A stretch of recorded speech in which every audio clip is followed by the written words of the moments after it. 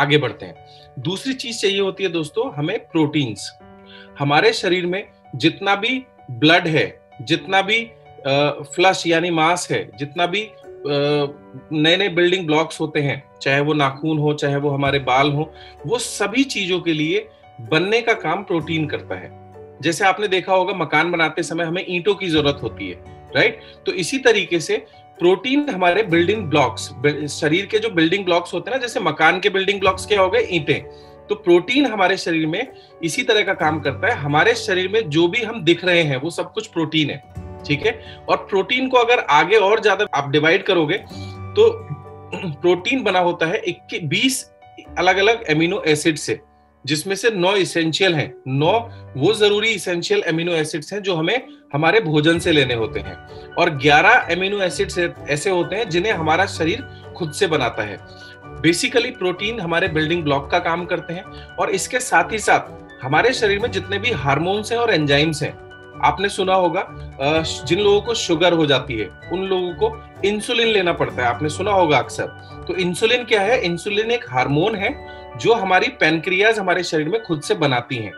लेकिन डायबिटिक लोगों को अक्सर ऐसा देखा जाता है कि उनकी पेनक्रियाज प्रॉपर मात्रा में इंसुलिन नहीं बना पाती हैं तो उन्हें बाहर से आर्टिफिशियल इंसुलिन लेना पड़ता है। ऐसे बहुत सारे तरह के अलग अलग हमारे शरीर में हार्मोन्स होते हैं जो हमारे शरीर के अलग अलग कामों को निर्धारित करते हैं। और ठीक इसी तरीके से कुछ एंजाइम्स होते हैं जो हमारे शरीर में अलग अलग तरह के फ़ंक्शंस को अंजाम देते हैं। जैसे हमारा जो खाना पचता है डाइजेशन जो होता है, उसमें बहुत सारे तरह के एंजाइम्स बहुत बड़ा रोल प्ले करते हैं। आपने अक्सर सुना होगा, लोगों को कहा जाता है कि दोपहर को खाना खाने के बाद थोड़ी सी दही ज़रूर खानी चाहिए।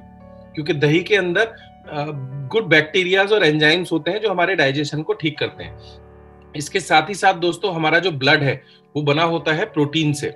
अब हमें कितना प्रोटीन चाहिए और हमारे प्रोटीन के मेजर सोर्सेज क्या होते हैं? तो हमारे शरीर में लगभग प्रति किलोग्राम, एक ग्राम प्रोटीन हमें रोज़ाना खाना होता है। जैसे मान लीजिए किसी व्यक्ति का वज़न है पचास किलो तो उसे कम से कम पचास ग्राम प्रोटीन रोज़ाना लेना चाहिए। अब प्रोटीन के जो हमारे सोर्स है वो क्या क्या है? अगर कोई नॉन वेजिटेरियन है तो नॉन वेजिटेरियन सोर्स से हम प्रोटीन ले सकते हैं। जैसे मीट हो गया, अंडे हो गए और दूसरा, दूध एक अच्छा सोर्स होता है प्रोटीन का। इसके अलावा जितने भी मिक्स ग्रेन होते हैं, आप अगर सिंगल ग्रेन खाएँगे तो कार्बोहाइड्रेट मिलेगा, लेकिन अगर उसमें ग्रेन्स को मिक्स कर देंगे तो बहुत अच्छी मात्रा में प्रोटीन्स मिल जाते हैं हमें। जैसे आप अक्सर कहा जाता है, आपने पुराने जमाने में सुना होगा, लोग आटा मिक्स करके खाया करते थे। चना जौ, ज्वार, गेहूँ, सारी चीज़ों को मिक्स करके आटा बनाते थे तो वो एक अच्छा सोर्स बन जाता है प्रोटीन का। तो इसी तरीके से हमें मिक्स ग्रेन लेने चाहिए, साथ ही साथ दाल लेनी चाहिए। दाल एक अच्छा सोर्स होता है प्रोटीन का। और जो ड्राई फ्रूट्स होते हैं, ये भी एक अच्छा सोर्स होते हैं प्रोटीन का। तो अगर हम प्रोटीन सही मात्रा में लेंगे तो उसके हमारे शरीर में क्या क्या फ़ायदे होंगे? पहली चीज़, हमारे शरीर की ग्रोथ ठीक होगी। दूसरी चीज़, हमारे शरीर में हार्मोन्स प्रॉपर बनेंगे। तीसरी चीज़, हमारे स्किन बहुत अच्छी रहेगी। और दोस्तों, प्रोटीन एक ज़रूरी काम करता है। आपने देखा होगा, अक्सर हमारे शरीर पे कहीं भी जब चोट लग जाती है ना तो 10 दिन 15 दिन के बाद वो जख्म सही होकर के हमारी स्किन वापस से रिपेयर हो जाती है। नोटिस किया आपने? ये काम कौन करता है? ये काम प्रोटीन करता है। तो हमारी स्किन स्वस्थ रहेगी, स्किन ग्लोइंग रहेगी और हमारे शरीर में जितने भी हार्मोन्स हैं, जितने भी एंजाइम्स हैं, वो प्रॉपर तरीके से बनते रहेंगे। अक्सर आपने सुना होगा, हमारे जितने भी सीनियर्स हैं डायबिटिक लोगों को या जिनको हार्मोन्स का डिसबैलेंस होता है, वो प्रोटीन पाउडर सजेस्ट करते हैं। हमारे दो तरह के प्रोटीन आते हैं ना। एक प्लेन प्रोटीन पाउडर है, जो सोया प्रोटीन है, और दूसरा इनविगो प्रोटीन पाउडर है, जिसमें सभी मिनरल्स और विटामिन ऐड कर दिए गए तो जैसी ज़रूरत होती है अक्सर जो डायबिटिक लोग होते हैं, क्यों? क्योंकि उनके शरीर में हार्मोन्स प्रॉपर नहीं बन पा रहे हैं। तो प्रोटीन एक बहुत महत्वपूर्ण भूमिका निभाता है हार्मोन्स को बनने में। तो हमें प्रोटीन्स अपनी डाइट में एडिशनल लेने चाहिए। क्योंकि हमें नहीं पता कि हमारा जो प्रोटीन का सोर्स है वो कैसा है, सही है या नहीं है। हमारा शरीर उसे सिंथेसाइज कर पा रहा है या नहीं कर पा रहा।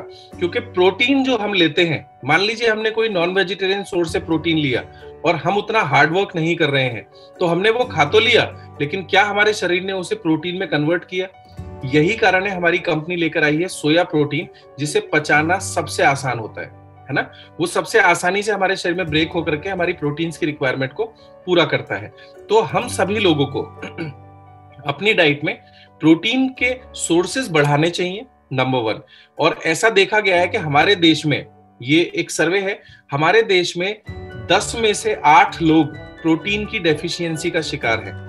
दोस्तों बेहद ज़रूरी चीज़ है प्रोटीन। हमारी बॉडी में ग्रोथ, हमारी बॉडी में हीलिंग और हमारी बॉडी के सारे फ़ंक्शंस को मेंटेन करने के लिए प्रोटीन बहुत महत्वपूर्ण भूमिका निभाता है।